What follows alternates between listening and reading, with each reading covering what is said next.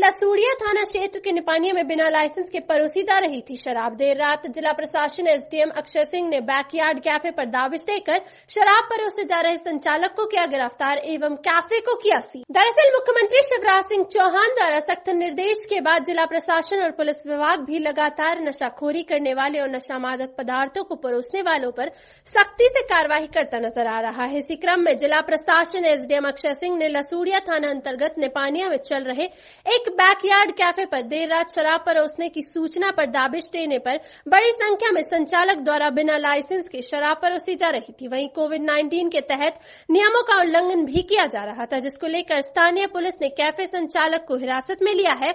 वहीं जिला प्रशासन एसडीएम द्वारा कैफ़े को सील भी कर दिया गया है। कार्रवाई चल रही है कब तक लगातार जो आज क्या क्या कार्रवाई जी, माननीय मुख्यमंत्री के आदेश अनुसार और माननीय कलेक्टर महोदय के निर्देशन है कि नशा मुक्त जो भारत है हमारा और नशा मुक्ति के लिए हम लोग एक कार्रवाई कर रहे हैं और सतत ये प्रक्रियाएँ हमारी और कार्रवाइयाँ चल रही है। इसी के सीक्वेंस में आज हमें एक कंप्लेंट मिली थी कि एक बैकयार्ड कैफ़े करके है लसूड़िया थाना क्षेत्र में, निपानिया एरिया में।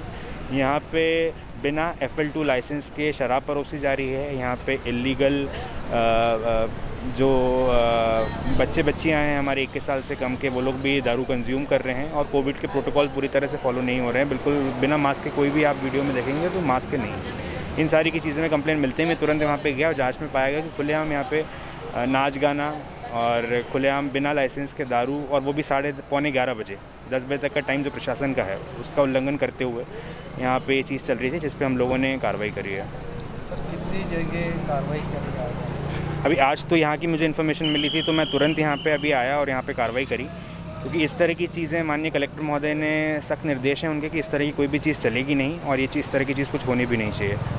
तो जैसे जैसे हमें कुछ इन्फॉर्मेशन मिलती है कि जहाँ इस तरह की चीज़ें हो रही हैं मैं सीधे जाके हम लोग वहाँ पे कार्रवाई कर रहे हैं। सर इस कार्रवाई में किस तरह की कार्रवाई रहती है? क्या लाइसेंस निरस्त करने हमने उनका केस बनवाया है वो केस पूरा पेश होगा उसके बाद आगामी कार्रवाई उसके तहत होगी। अभी पूरी तरह उसको बंद करवा दिया है। केस बनवा लिया है और आगे आगामी का कार्रवाई होगी उसके ऊपर।